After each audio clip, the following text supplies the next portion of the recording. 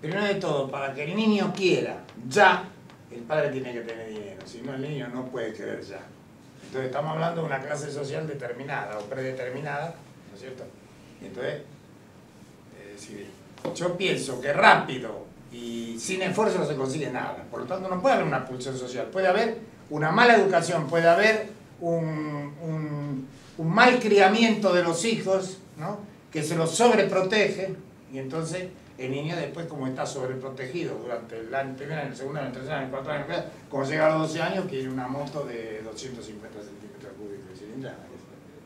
Eso es cierto, pero tal vez no viene esa, No. esa, No, no, ese de intento de No, porque como, como explico ahí, te digo, es decir, el- no puede ser una pulsión social en tanto hay gente eh, de cualquier edad, niños, jóvenes, viejos y adultos, que tienen una gran capacidad, una gran energía y que la ofrecen al mundo, que la ofrecen a los, eh, a los procesos sociales, que la ofrecen al trabajo. Eh, No se puede pensar que hay una pulsión social, porque si no, sería para todos. Pul- Pulsión es para todos, y no es para todos. Lo mismo que el pasotismo. Hay jóvenes pasotas, yo sé. Y hay jóvenes eh, que menestrega, ¿no? Como dicen los italianos. Pero también hay jóvenes que están preocupados todo el día en mejorar la patria, en mejorar el sistema, en mejorar la educación, ¿no? Y también hay viejos que son pasotas, y hay viejos que te- se recrean en producir cultura, en producir... Bueno, te quiero decir que no son pulsiones sociales, no existen las pulsiones sociales, porque si no sería toda... La pulsión social fue el intento de globalizar el sistema capitalista, que fue el error más grande que cometió en los últimos 100 años.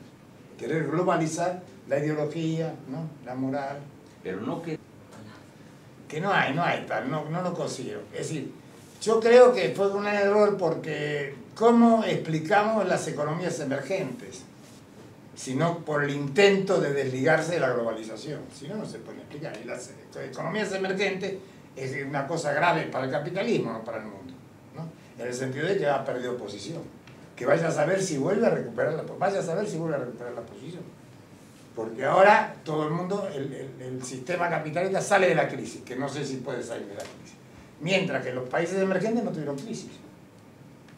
Brasil no tuvo crisis, China no tuvo crisis. China resolvió la crisis en 15 minutos. Dijo, vamos a invertir. Y agarró y empezó a invertir, entonces paró la crisis. Y sacó de la crisis a Japón, que Japón provee a China de materias primas. ¿no? Entonces, digo que no, que está... A- a lo Yo no es que me guste hablar chino a mí, ojo. yo- digo, digo las noticias, tú te fíjate en las noticias, son las noticias. ¿no? sí, lo, lo cierto es que